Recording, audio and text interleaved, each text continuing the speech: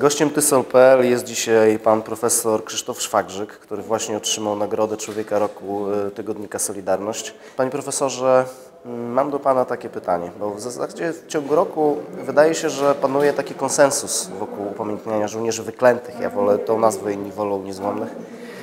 E, Nawet e, na pogrzebie Inki Zagończyka byli ludzie, których jakby trudno się było tam spodziewać i pomimo tego, że okazało się później, że nie wiedzieli na czyim pogrzebie byli, to mimo wszystko warto to docenić.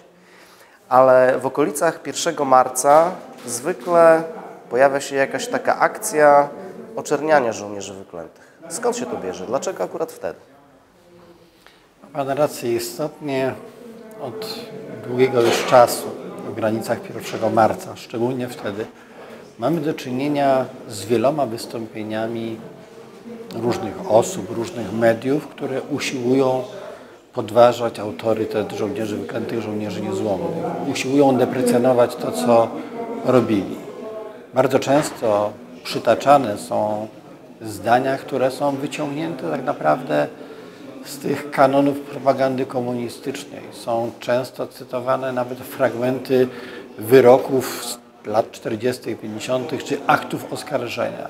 O czym to świadczy? Tak naprawdę o trwałości tej czarnej komunistycznej propagandy, która z naszych bohaterów usiłowała przez dziesięciolecia uczynić kryminalistów, pospolitych przestępców, ludzi opłacanych przez jakieś ośrodki zachodnie.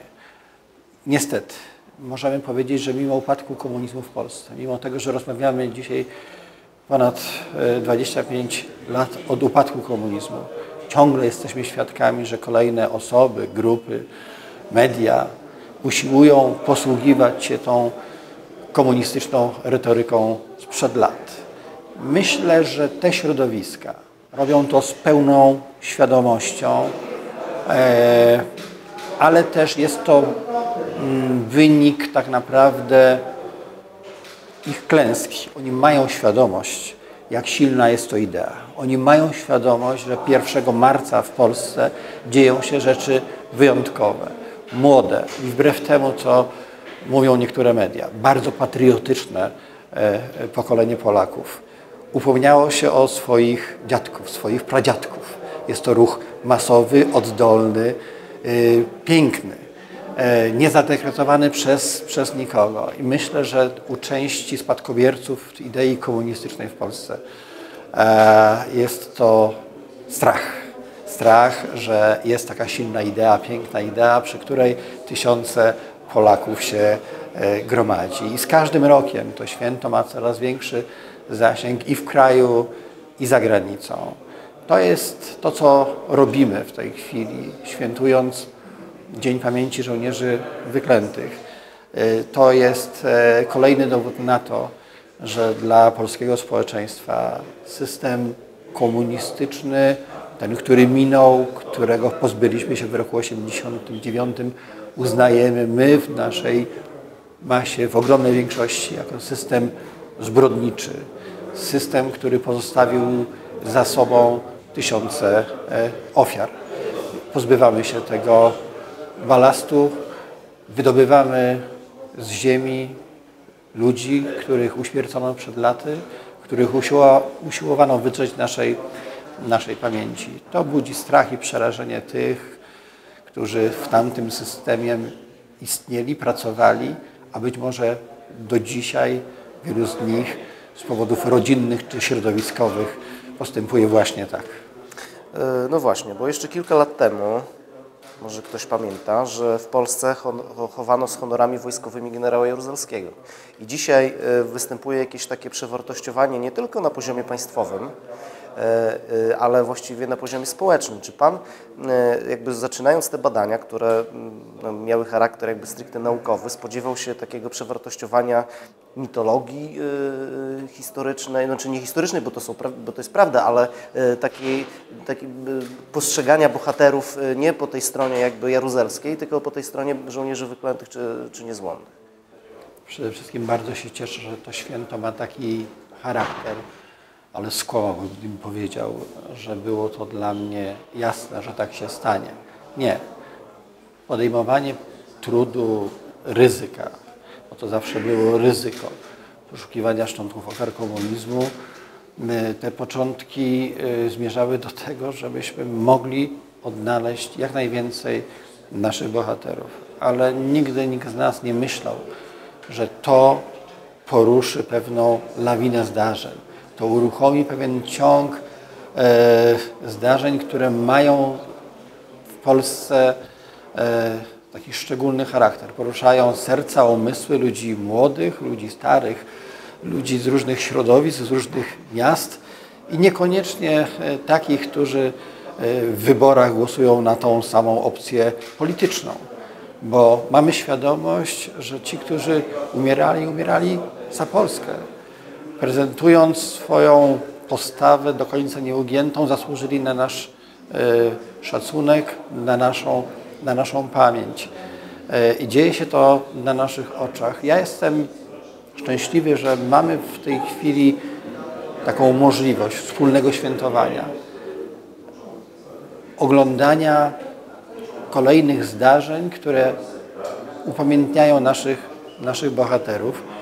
E, I wszyscy, sądzę, mamy to poczucie, że uczestnicząc w tych działaniach w różnym zakresie, my poprzez poszukiwania, dziennikarze poprzez to, że informują o tych zdarzeniach, przeciętny obywatel poprzez to, że będzie uczestniczył we mszy świętej, będzie uczestniczył w koncercie, w marszu, w biegu, e, spełniamy swój obowiązek wobec naszych bohaterów. E, I bardzo się cieszę, że dożyliśmy takich chwil. A ten szczególnie ważny element polega na tym, że ogromna większość inicjatyw powstaje e, w umysłach, w sercach bardzo młodych Polaków. Trapi mnie jeszcze jedna wątpliwość, panie profesorze, bo e, w wielu dyskusjach, w których e, starałem się bronić idei upamiętniania żołnierzy wyklętych, niezłomnych, pojawia się taki zarzut, czy ja nie mam żadnych wątpliwości. A przecież to nie jest tak, że e, my nazywamy żołnierzami wyklętymi czy niezłomnymi każdego bandyty, który biegał z, z bronią po lesie. I, i, I nie jest też tak, że E, że te badania nie, e, jakby nie, nie, nie usiłują tego podziału wytworzyć. Czy Pan zechciałby ludziom, którzy mają co do tego wątpliwości i z jakichś dla mnie tajemniczych powodów zakładają, że my wszystkich, którzy biegali po lesie z, e, z bronią, nazywamy żołnierzami wyklętymi, wyjaśnić, że, że tak nie jest, że to nie na tym polega? Dzisiaj historycy w Polsce zgodnie oceniają, że w okresie, który już dzisiaj powoli coraz więcej osób nazywa powstaniem antykomunistycznym lat 1944-63 w tym zbrojnym czynie, w walce o niepodległość walczyło od 120 do nawet 180 tysięcy ludzi. I mówimy tutaj o osobach, które walczyły z bronią w ręku w walce o niepodległość Polski i wolność nas wszystkich. Nie mówimy tu o osobach, które były e, w lesie, byli szabrownicy, posiadali tak, broń, ale walczyli w swoim wyłącznie interesie. Bardzo często komuniści w sposób e, sprytny, inteligentny usiłowali łączyć podziemie patriotyczne, podziemie polskie, podziemie narodowe, zbrojne e, z grupami bandyckimi. Nawet przebierali ich w mundury nazistowskie po to, żeby ludzie myśleli, że współpracowali z nazistami albo nawet, że są nazistami wtedy, kiedy ich złapali. My musimy mówić, że święto żołnierzy wyklętych to święto naszych bohaterów, których do lasu e, zaprowadziła mm, ich walka o niepodległość. I byli to ludzie, którzy walczyli dla nas, dla Polski, a nie dla nie dla siebie. E, sądzę, że jeszcze wiele wody upłynie w Wiśle, ani zanim doczekamy takich czasów, kiedy już nikt nie będzie miał wątpliwości, że żołnierze wyklęci i żołnierze niezłomni to są nasi bohaterowie, tacy sami jak ci, którzy byli w powstaniu listopadowym, jak ci, którzy byli w powstaniu styczniowym i w legionach Józefa Piłsudskiego i na barykadach Warszawy w 1944 roku. To tragiczne, ale piękne pokolenie w historii e, Polski jesteśmy za to, co oni wówczas zrobili. Dla nas wszystkich im wieczną pamięć winni. Panie profesorze, wiem, że pan profesor jest bardzo ostrożny w takich deklaracjach, ale mm, nie mogę się powstrzymać. Najwyżej spotkam się z odmową. E, Kiedy będziemy mieli szansę uczestniczyć w pogrzebie generała Nila? Mam głębokie wewnętrzne przekonanie, że tak się stanie. Nie jestem w stanie określić tego terminu. Już po świętach Wielkiej Nocy powracamy na łączkę po to, żeby ostatni etap działań ekshumacyjnych przeprowadzić. Brakuje nam jeszcze około 100 szczątków naszych bohaterów, które leżą tam gdzieś pod murem.